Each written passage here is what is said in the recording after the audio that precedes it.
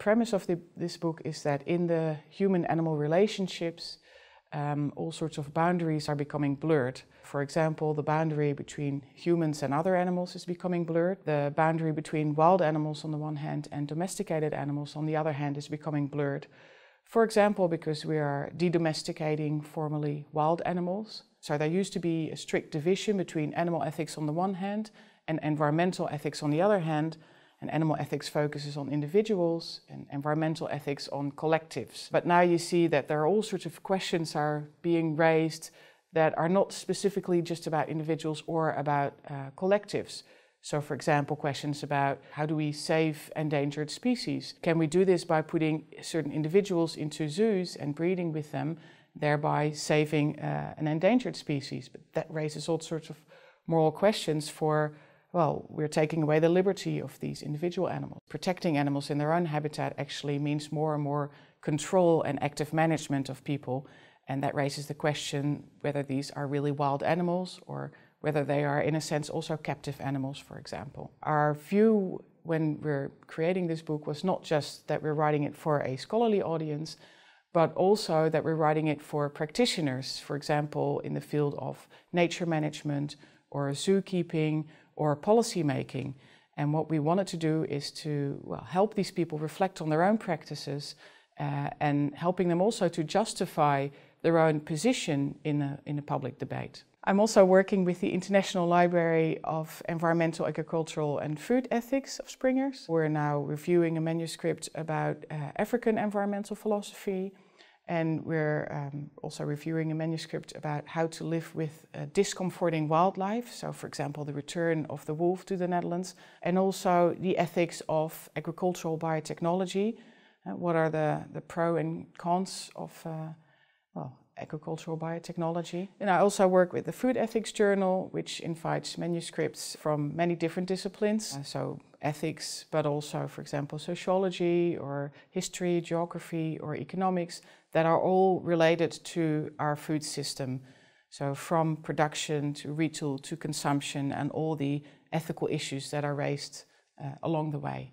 My next project is called Anthropocene Ethics, Taking Animal Agency Seriously. We are now living in the Anthropocene, so that's the age in which humans uh, influence nature to such an extent that we uh, ourselves have become a, a global natural force. And there's something interesting happening in the Anthropocene with regard to animals. So you see a tension. On the one hand, we get a lot more information about what animals can do, what sort of capacities they have, and this shows us that they are, like humans, agents, like they're, uh, they're capable of uh, exhibiting self-willed action. On the other hand, this agency is increasingly being curtailed in the Anthropocene. And so, for example, because of habitat fragmentation, wild animals are forced out of their habitats and into urban areas. And in the Anthropocene, we have really upscaling of livestock facilities, and this also increasingly curtails animals' agency. So, as part of that project, I'm also working on the collected volume again. The working title is uh, Animals in Our Midst. The idea behind that is that uh, in the Anthropocene, the human-animal relationship is continuously changing. So how do we deal with these changes? How should we relate to animals in, in this new era?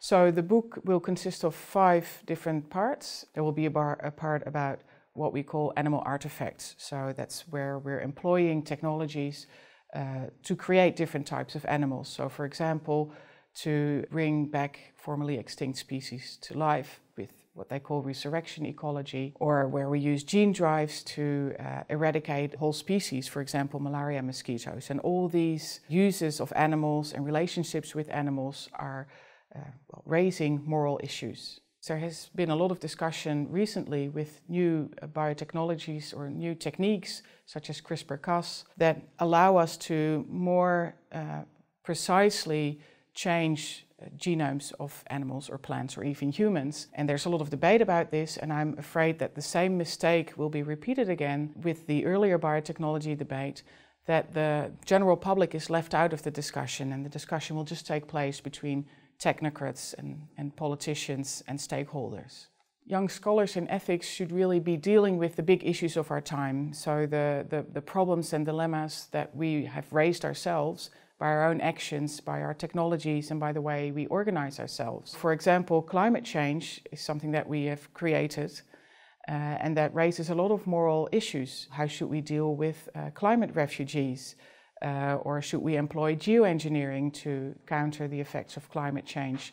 Or should we relocate uh, animal species that can no longer live in their uh, normal range? Or distributive justice issues such as who should deal with the, the benefits and burdens of uh, climate change? Our society has become more and more complex uh, for example, because of information technologies. And that's giving rise to questions about privacy. It's giving rise to questions about how do we deal with rising populism in the world? How do we deal with the position of science uh, and the idea now that uh, just opinions are rated on the same level as science? On the one hand, I think you know it's good that the public gets more input.